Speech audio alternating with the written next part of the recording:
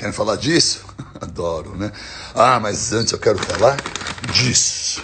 Porque isso aqui é muito mais vida que isso. Aí você vai falar, o que, que é isso? Vou tentar abrir. Ah, olha que coisa linda.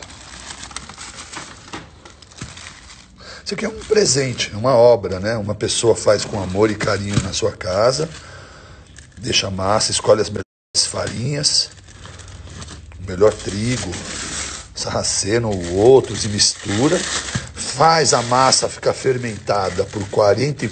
Nossa, o que, que a Nádia aprontou? Olha isso, eu pedi para ela com gergelim. Incrível! Sabe o que é isso aqui? Ó? Isso aqui é vida, isso aqui é fermentação natural. A Nádia aí no Instagram com vocês é a chefe de cozinha, uma chefe funcional. E ela dá os cursos no instituto, ela faz os, presta o serviço ali dentro dos nossos, da casa dos nossos pacientes.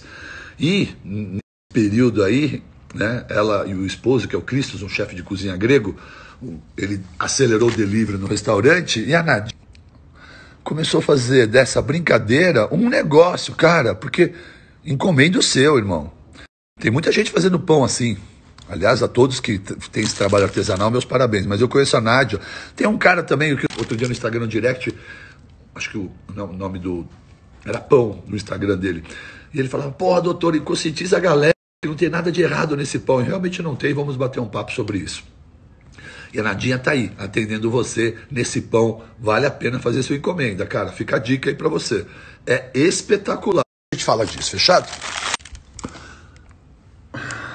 Você já deve ter ficado em conflito sobre essa ideia de que o pão te faz mal. Não é possível, eu sempre comi pão. A minha mãe, os mais velhos, ficou horrorizados com essa história. Como assim? Comi, comi pizza a vida toda.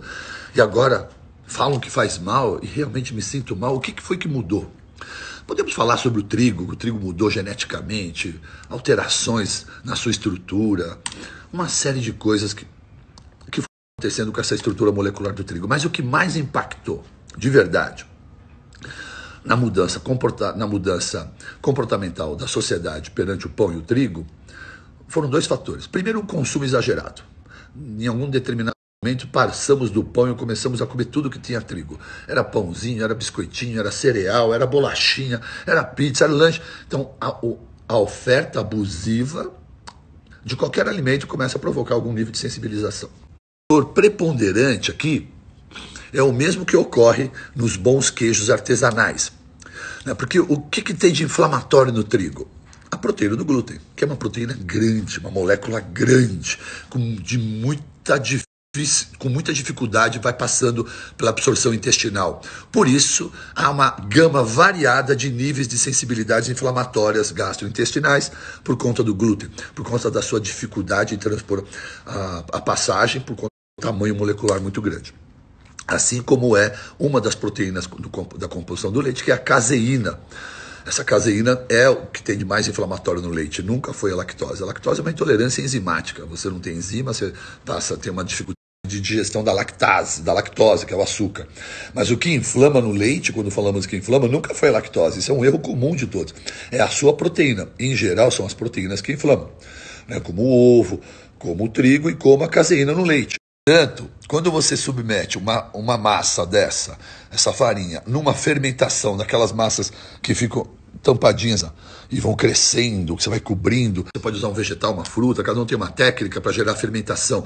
Esse processo de fermentação do pão durante 24, 48 horas ou mais, o que, que foi acontecendo enquanto a massa estava crescendo, fermentando e descansando? As bactérias quebraram e detonaram a molécula do glúten, transformaram numa ela em degradada e assim a sua absorção e a sua passagem intestinal, exceto para aqueles que têm problema com glúten e doença autoimune, evita para o resto da vida a população normal começa a encontrar conforto nesse pão. Quem estava desconfortável no outro pão por conta, afinal de contas, nem padeiro mais as padarias têm, né?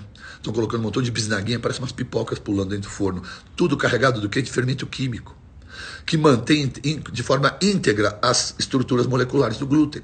Quando você come um pão fermentado, esse glúten foi degradado, assim como um queijo curado. Você vai pegar aquele queijo da Lagoa, lá do, do Oswaldinho, lá da região de Minas. Agradecido Oswaldinho, né? um queijo premiadíssimo dele, faixa dourada. É um queijo que fica 50 a 100 dias curando artesanalmente. Também está havendo uma quebra da, da molécula da proteína da caseína, permitindo assim uma digestão e uma qualidade de queijo muito melhor.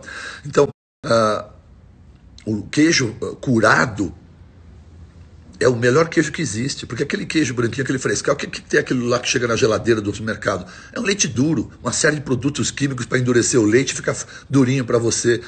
Ricota, quanto tempo não, não, nós fomos enganados com queijo branco, ricota, cottage? Os melhores queijos, acredite, são os que estão mais distantes do leite. E como é que fica distante do leite? No processo de cura e maturação, 50 a 100 dias.